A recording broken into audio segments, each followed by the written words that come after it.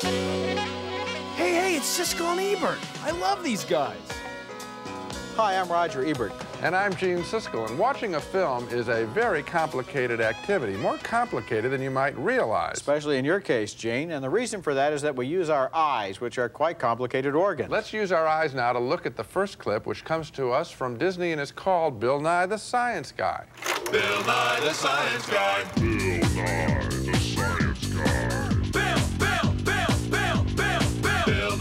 Science Guy. Science rules. Bill Nye the Science Guy. Inertia is a property of matter. Bill, Bill, Bill, Bill. Bill Nye the Science Guy. Bill, Bill, Bill. T minus seven seconds. Bill, Bill, Bill. Bill Nye the Science Guy. Brought to you by those round, squishy things in your head. Eyes. Eyeballs. That's what today's show is all about. Our eyes let us focus on the world around us. They let us see what we see every day.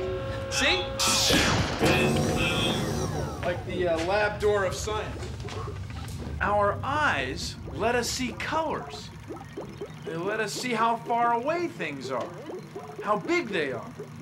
Our eyes let us see the whole world without even touching Isn't that cool? Our eyes are connected to our brains by big, complicated bundles of nerves. The nerves are so big and complicated that many scientists like to think of our eyes as part of our brains. See? This is the eyeball demonstrator of science. And here is the eyeball. That's right. Your eye is shaped like a ball. And inside is the lens. The lens is the clear part that light goes through.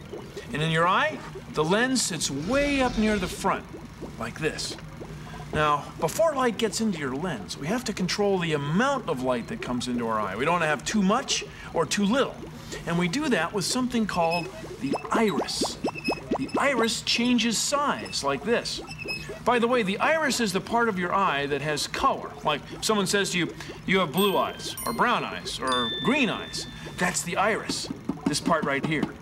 Now let's say we're looking at something, maybe a kid on a stick out here. All right, the light from the kid on a stick goes through our iris, through the lens, to the back of our eye. And look, the image of the kid on the stick is upside down. Isn't that wild? The kid on the stick is upside down. We heard you, Bill. So our brains take the upside down images from both our eyes, turn them right side up, mix them together, and make sense out of what we see.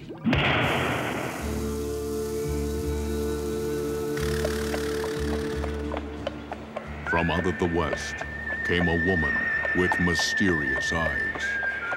A woman who saw things differently because she had to. And they called her the High Plains Squinter. Hi-yo, hi-yo, the High Plains Squinter. Hi-yo, hi-yo, the High Plains Squinter. Root beer. If only she could see it, she could drink it. High Plains Squinter. Hi-yo, hi-yo, the High Plains Squinter. Hi-yo, hi-yo, the High Plains Squinter. Go. See it. The High Plains Squinter. Well, we all know the Western is coming back, which is fine if it's done intelligently, but I think that was just silly. I couldn't agree more with you, Roger. If a film wants to talk about how eyelids help protect the eye and keep it moist and regulate light, And how squinting is a way to try to focus. yes, that's one thing. This, however, was nothing more than shameless pandering to the eye doctor community. Okay, when we come back, a film with real vision called Compass Man. Here's an experiment you can try at home. Focus your eyes far away. Put your fingers up to your face and move them closer and closer together. You'll be able to see a third finger just floating in space. Try it at home, right now. You really should. Put your fingers up like this. Are you listening yeah, to me? yeah. You have to do it like this. You use your eyes for playing. You use your eyes for safety. you use your eyes for just looking at things.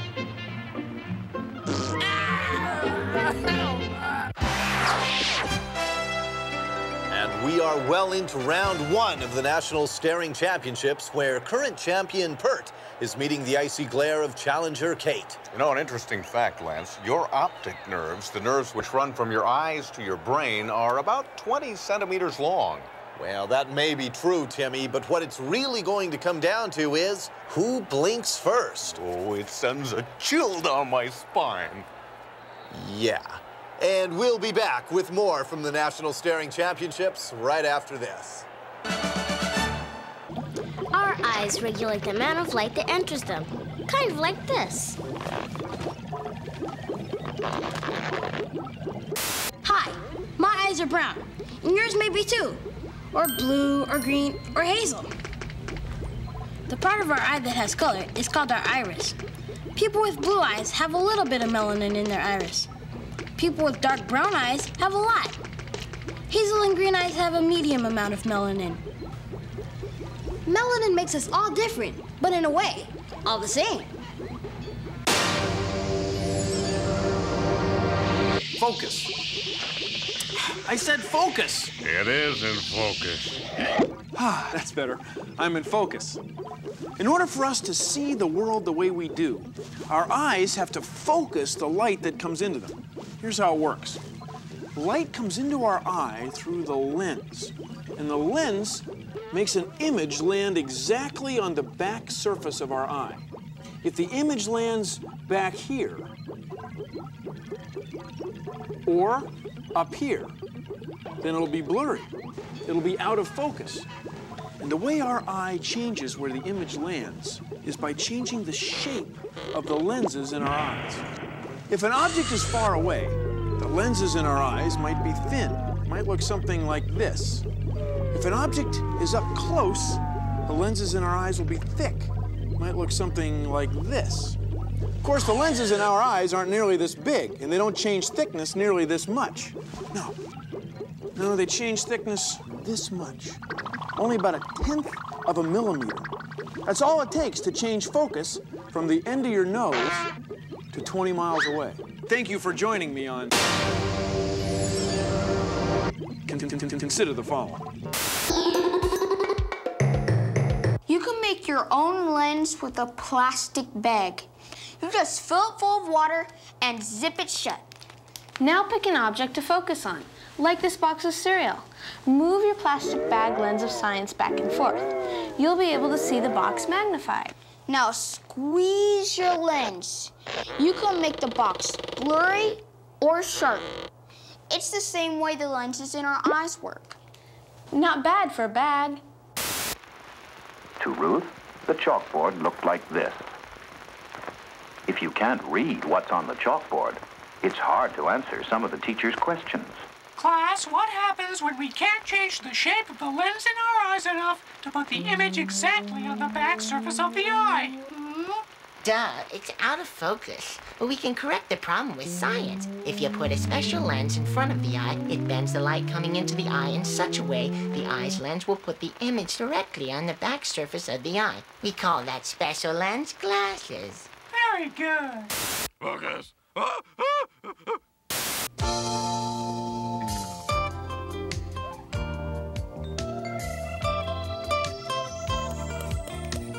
Did you know that everything you see is an image on your retina? It's true. And those images are made by two kinds of cells called rods and cones. Now, rods aren't sensitive to colors, just to shades of gray and low light. That's what gives us night vision. Let's paint some happy rods around the edge. Happy little rods.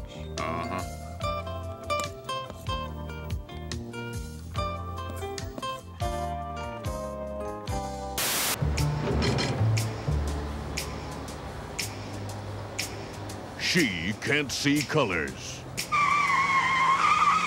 Hey, did you see that? What?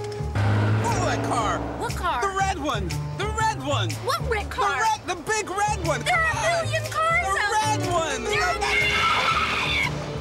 There In a tough city, you need tough cops that can see, not Rod and Cone. Okay, we're coming in. Hey, I can't see. What do you mean you can't see? It's dark in here. I can't see in the dark. What do you mean you can't see in the dark? Rod and Cone. A couple of cops that can't see their way out of a 40% recyclable paper bag. On the Bill Nye Television Network.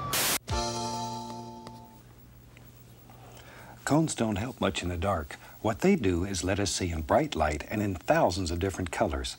So let's make some colorful cones in the center.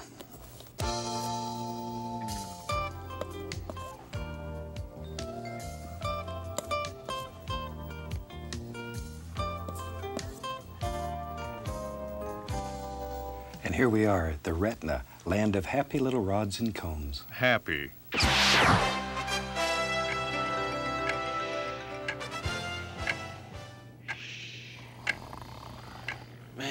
Tell you, this is worse than watching golf. Tell me about it. Here we go. Stand by. Look, why don't we get out of here and go get. Three, two, you're on.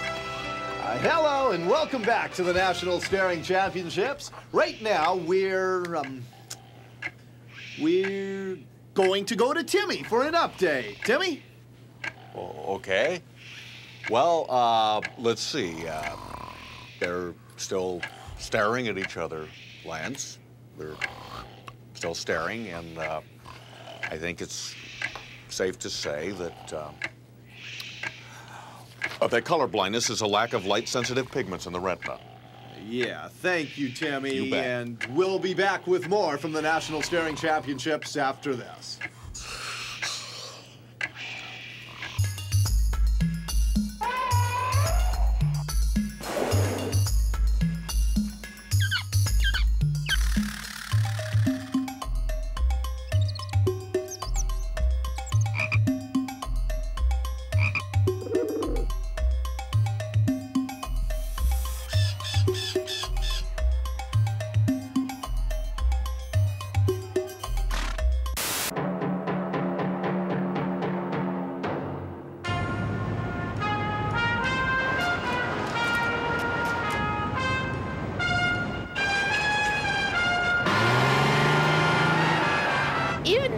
Have eyesight, I can still get around the city very well. I could ride a bike. I could play Super Nintendo. I do judo. You see, I know that I'm blind. And I know nothing is not going to stop me from being what I want to be or to do what I want to do.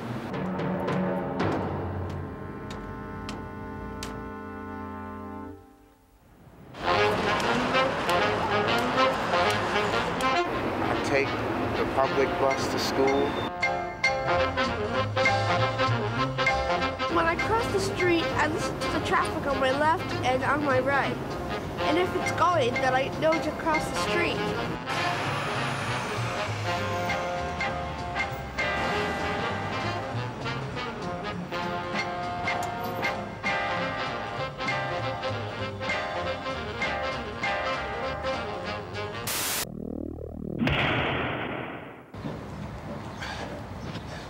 When a soccer ball is coming towards you, you want to figure out where it's going to land.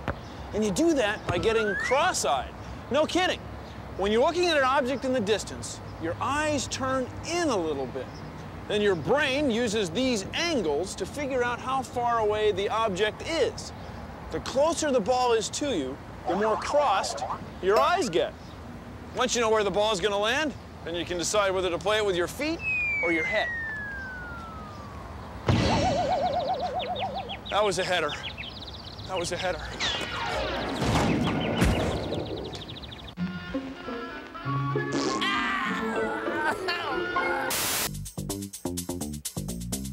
My name is Becky Erickson, and I'm an ocularist. And what that means is that I make artificial eyes. And we have Crystal here today, of which we are going to build her an eye because she lost her eye when she was younger uh, due to cancer. In making artificial eyes, the first step that we do is we make uh, a mold of the eye. It's very similar to when, say, your mom makes a jello mold. You pour the jello into the mold, let it set, and as soon as it's cold enough, you take the mold off, and you have a duplicate or an impression of that mold. And that's what we do similarly with our patients. From this point, we want to go and just clean up the blank so that it's nice and smooth and comfortable for Crystal to try on in her socket.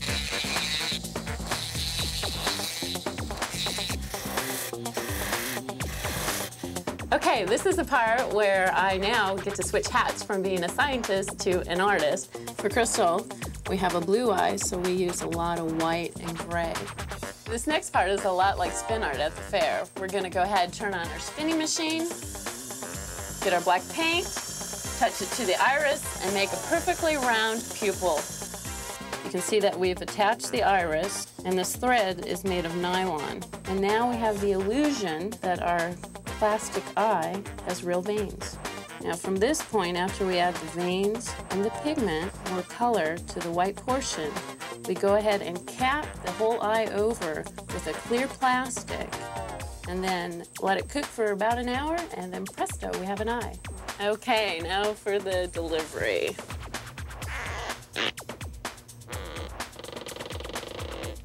There you go, Crystal. Your new artificial eye.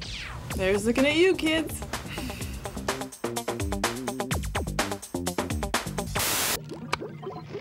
That last thing uh, really got to you, didn't it, Phil? Oh, hi. I was just crying. That's right, it happens to the best of us. The tears you make when you cry when you're upset are the same tears you make when you're just washing your eye. And tears come from little glands above your upper eyelid. They flow down over your eye and then drain into your nose. And that's why a lot of times you have to blow your nose when you're crying. Excuse me. Now, do you see this little dot in the corner of my eye? That's where the tears drain from your eye into your nose. See, it's all connected all the time. Do you see the little dot? Do you see it? Do you see the little dot in the corner of my eye where the tears drain out? Phil?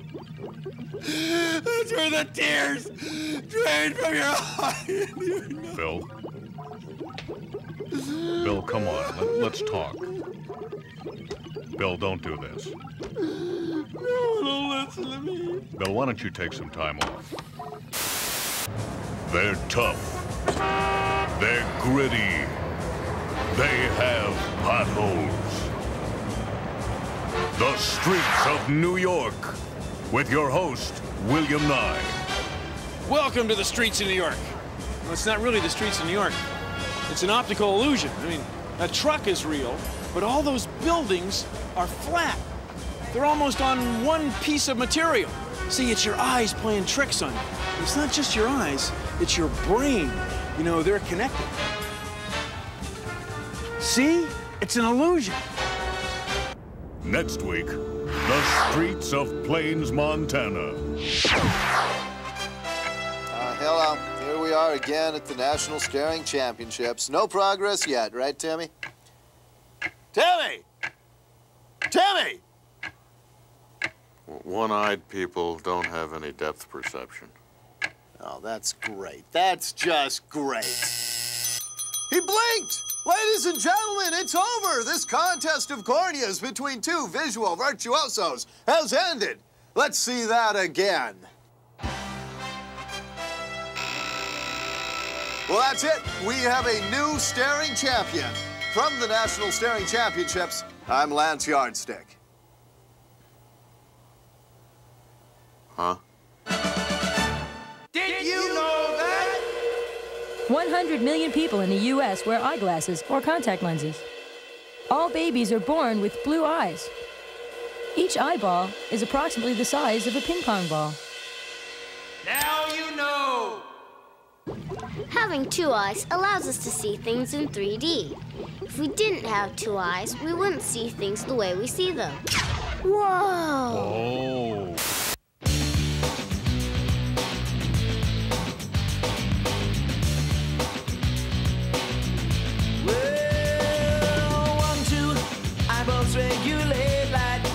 In your head now. Eyeballs, eyeballs left and right. So talented now. Each one sitting in the socket. They're focusing now. Blue as sky, or even brown as chocolate. And sometimes red now. Yeah.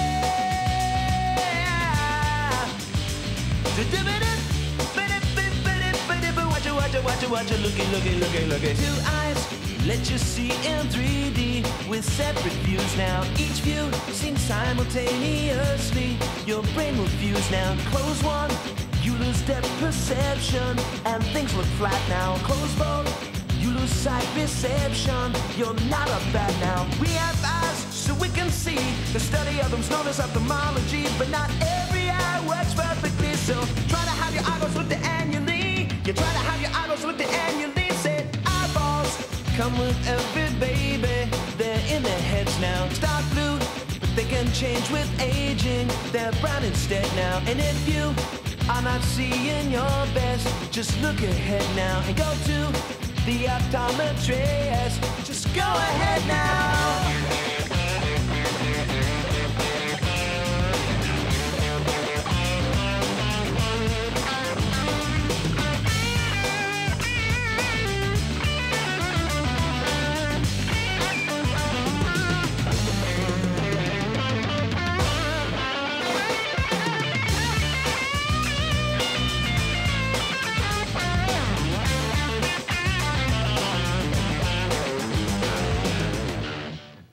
Now that was a little better. Well, you're just saying that because you wear glasses. It Has nothing to do with whether I wear glasses or not. A lot of people wear glasses. I know, but I don't. Do you realize I love these have guys. Well, that's our show. See ya. Get it? See ya. you know, maybe this Bill Nye guy will be big, and Nah, I don't think so. Huh? Produced in association with the National Science Foundation.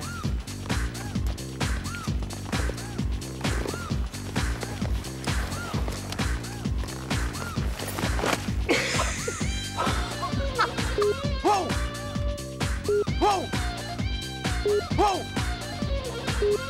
You see the little dot? Do you see it? Do you see the little dot? Oh, I see. It's time to go. Get it? I see.